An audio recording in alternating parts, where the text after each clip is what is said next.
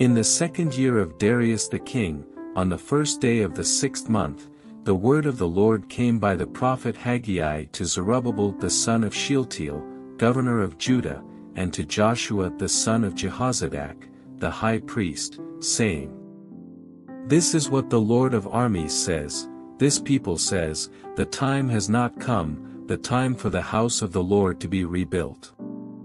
Then the word of the Lord came by Haggai the prophet, saying, Is it time for you yourselves to live in your paneled houses while this house remains desolate? 5 Now then, the Lord of armies says this, Consider your ways. You have sown much, only to harvest little, you eat, but there is not enough to be satisfied, you drink, but there is not enough to become drunk, you put on clothing, but there is not enough for anyone to get warm, and the one who earns, earns wages to put into a money bag full of holes. The Lord of armies says this, Consider your ways. Go up to the mountains, bring wood, and rebuild the temple, that I may be pleased with it and be honored, says the Lord. You start an ambitious project, but behold, it comes to little, when you bring it home, I blow it away. Why, declares the Lord of armies.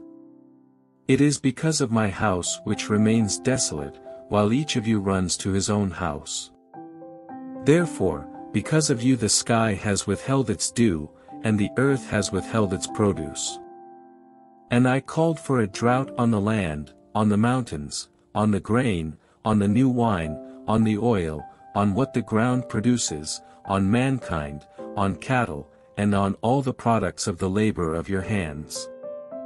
Then Zerubbabel the son of Shealtiel, and Joshua the son of Jehozadak, the high priest, with all the remnant of the people, obeyed the voice of the Lord their God and the words of Haggai the prophet, just as the Lord their God had sent him. And the people showed reverence for the Lord. Then Haggai, the messenger of the Lord, spoke by the commission of the Lord to the people, saying, I am with you, declares the Lord. So the Lord stirred up the spirit of Zerubbabel the son of Shealtiel, governor of Judah, and the spirit of Joshua the son of Jehozadak, the high priest, and the spirit of all the remnant of the people, and they came and worked on the house of the Lord of armies, their God. On the twenty-fourth day of the sixth month in the second year of Darius the king. On the twenty-first of the seventh month, the word of the Lord came by Haggai the prophet, saying, Speak now to Zerubbabel the son of Shealtiel, governor of Judah, and to Joshua the son of Jehozadak, the high priest, and to the remnant of the people, saying, who is left among you who saw this temple in its former glory? And how do you see it now? Does it not seem to you like nothing in comparison?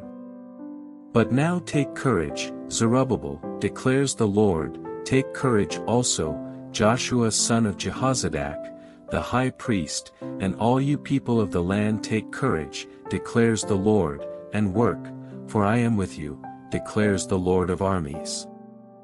As for the promise which I made you when you came out of Egypt, my spirit remains in your midst, do not fear.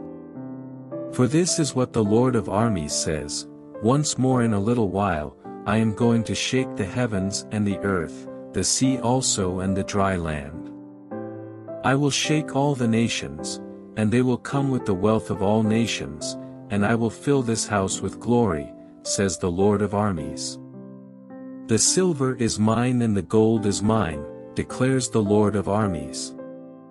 The latter glory of this house will be greater than the former, says the Lord of armies, and in this place I will give peace, declares the Lord of armies. On the twenty-fourth of the ninth month, in the second year of Darius, the word of the Lord came to Haggai the prophet, saying, The Lord of armies says this, Now ask the priests for a ruling. If someone carries holy meat in the fold of his garment, and touches bread with this fold, or touches cooked food, wine, oil, or any other food, will it become holy? And the priests answered, No. Then Haggai said, if one who is unclean from a corpse touches any of these things, will the latter become unclean? And the priests answered, It will become unclean. Then Haggai responded and said, So is this people. And so is this nation before me, declares the Lord, and so is every work of their hands, and what they offer there is unclean. But now, do consider from this day onward, before one stone was placed on another in the temple of the Lord. From that time when one came to a grain heap of twenty measures, there would be only ten, and when one came to the wine vat to draw fifty measures, there would be only twenty. I struck you in every work of your hands with scorching wind, mildew, and hail, yet you did not come back to me, declares the Lord. Do consider from this day onward, from the twenty-fourth day of the ninth month, from the day when the temple of the Lord was founded, consider. Is the seed still in the barn? Even including the vine, the fig tree, the pomegranate, and the olive tree, it has not produced fruit. Yet from this day on I will bless you.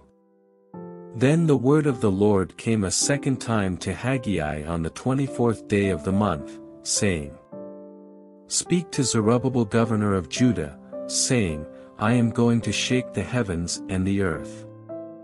And I will overthrow the thrones of kingdoms and destroy the power of the kingdoms of the nations, and I will overthrow the chariots and their riders, and the horses and their riders will go down, every one by the sword of another.